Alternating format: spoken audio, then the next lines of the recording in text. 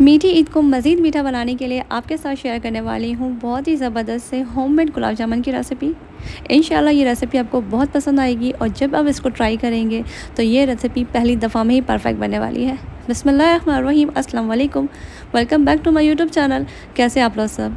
आज आपके साथ परफेक्ट होममेड गुलाब जामुन की एक ऐसी रेसिपी शेयर करूँगी, जो इन आप जब भी ट्राई करेंगे, आपकी रेसिपी परफेक्ट बनेगी। सो वीडियो को कहीं भी इस पार्ट स्किप नहीं करना है। आइए रेसिपी बनाना स्टार्ट करते हैं।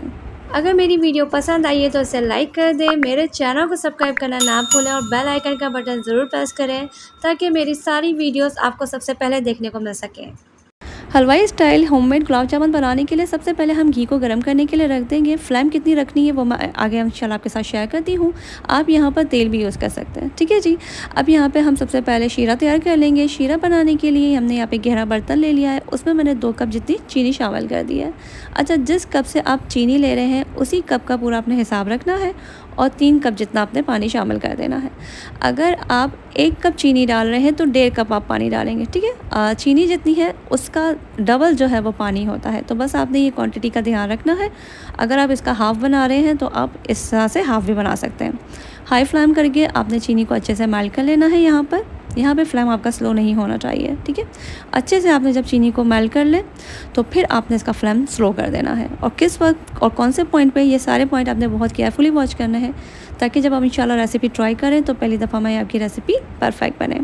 यहाँ पे मैं थोड़ा सा ज़ाफ़रान शामिल कर रही हूँ, आपके पास नहीं है तो कोई बात नहीं, आप इसके भी कर सकते हो, ज़रूरी नहीं है। चार अदद साबुत हरी इलायची शामिल करेंगे, और मुस्तकिल चम्मच चलाते हुए हम चीनी को अच्छे से मेल्ट कर लेंगे। चीनी यहाँ पे माल हो चुकी है। अब हमने फ्लाम को कर देना है स्लो। ठीक है जी?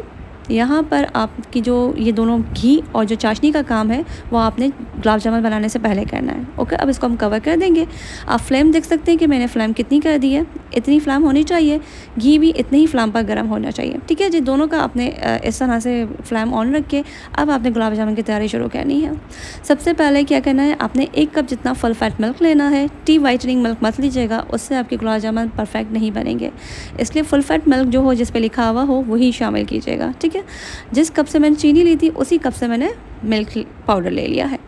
वन टेबल स्पून यानी कि एक बड़ा खाने का चम्मच तेल शामिल किया है। वन टेबल स्पून यानी कि एक बड़ा खाने का चम्मच ही मैदा यानी कि all purpose flour one teaspoon यानी कि एक छोटा चाय का चम्मच बेकिंग पाउडर याद रखिएगा कि यहाँ पर बेकिंग पाउडर शामिल करना है बेकिंग सोडा नहीं।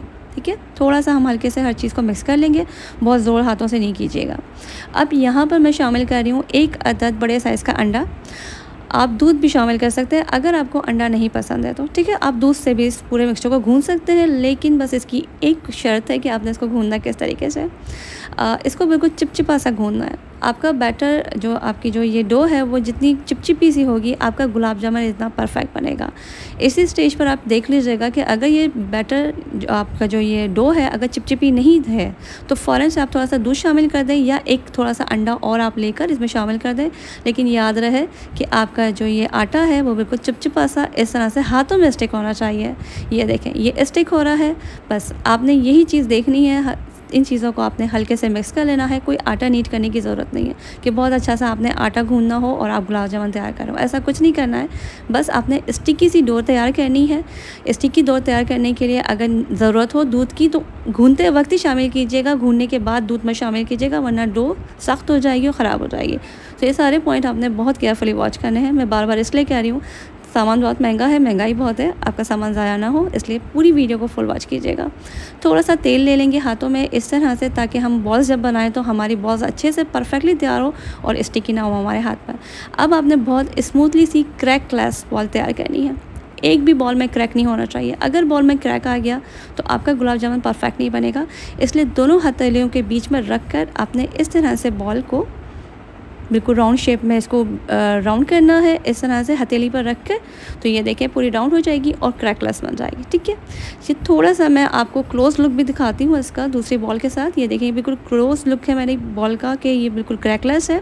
आपने क्या करना है, बहुत केयरफुली वॉच करें कि इस तरह से दोनों हथेली के बीच में रख कर आपने इसको इस तरह से राउंड करना है तो आपकी बॉल जब वो परफेक्टली तैयार होगी और क्रैकलेस बनेगी। ये काम आपने इमीजिएटली करना है और सारी बॉल्स फटाफट तैयार करके आपने रखनी है और कवर करते जाना है। आपने जो आपका जो आटा है, वो ड्राई नहीं होना चाहिए।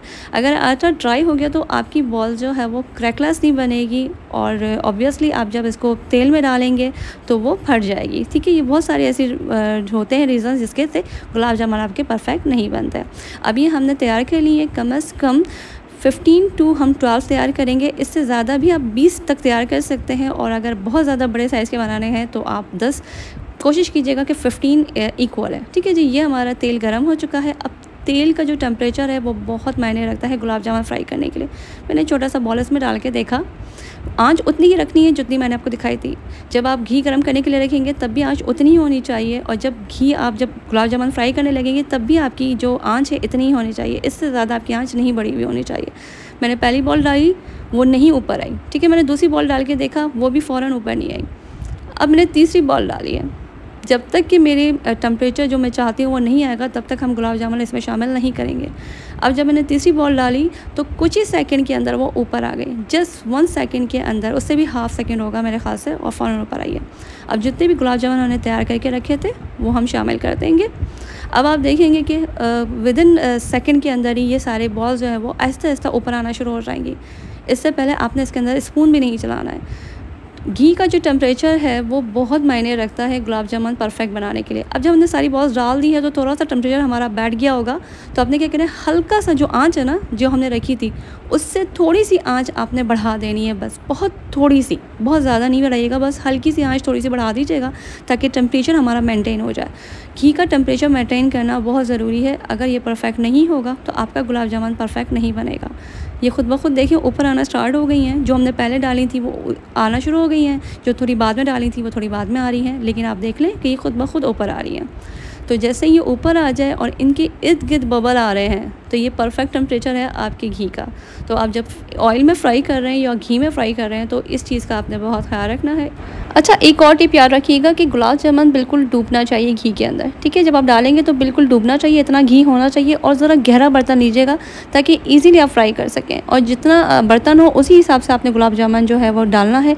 ये ना हो कि बर्तन छोटा हो और गुलाब जामुन ज़्यादा हो जाए तो इस तरह से नहीं करिएगा। जिस तरह से मैंने घी दिया है क्वान्टिटी में, उतना ही आपका घी होना चाहिए। इस बात का भी आपने बहुत ख्याल रखना है। जब सारे गुलाब जामुन ऊपर आ जाएँगे ना दैन फिर आपने कोई भी स्टिक ले लेनी है, उससे तेल को हल्के से मूव कर लेना है, ठीक है?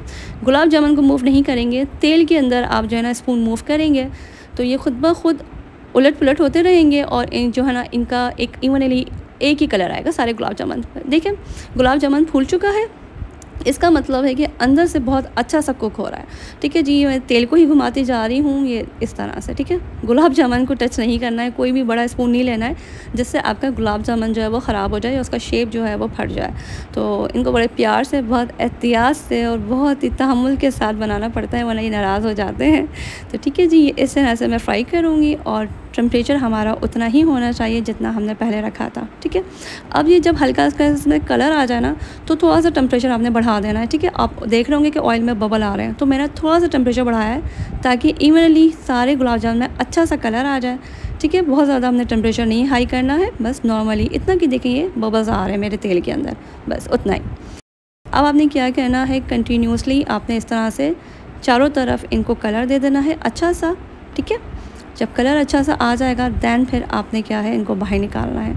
अब कलर आप ज़्यादा ब्राउन भी कर सकते हैं लाइट कलर के भी रख सकते हैं। जिस कलर के भी आपने रखने हो, आप उस कलर के रख सकते हैं, ठीक है? ये थोड़ा सा स्पून इस तरह से चलाते हुए इनको कलर दे देंगे अच्छा सा और अब आपने फिर से जो है वो फ्लैम को जो है वो उसी टेम्परेचर पर ले आना है। जिस टेम्परेचर पे हमने फ्राई करने के लिए गुलाब जामुन रखे थे, ठीक है जी?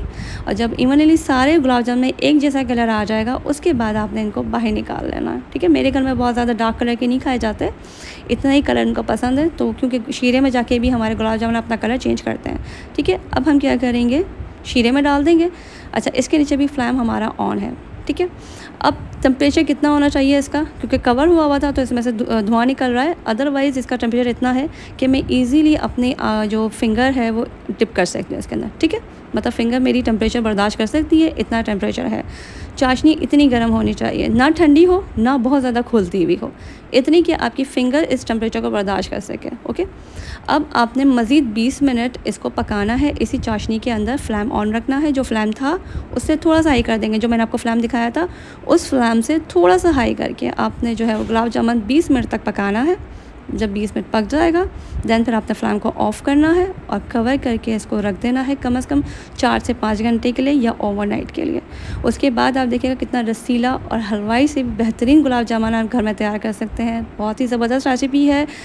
आप एक दफ़ा इस रेसिपी को इस ईद पर ज़रूर ट्राई कीजिएगा। इन आपको, आपके गेस्ट को बहुत पसंद आने वाली है। सारी टिप्स ज़रूर ट्राई कीजिएगा और ट्राई करके कमेंट में बताइएगा। मिलते हैं नेक्स्ट वीडियो में। अल्लाह हाफिज़। अपनी बहुत सारी दुआओं में याद रखिएगा।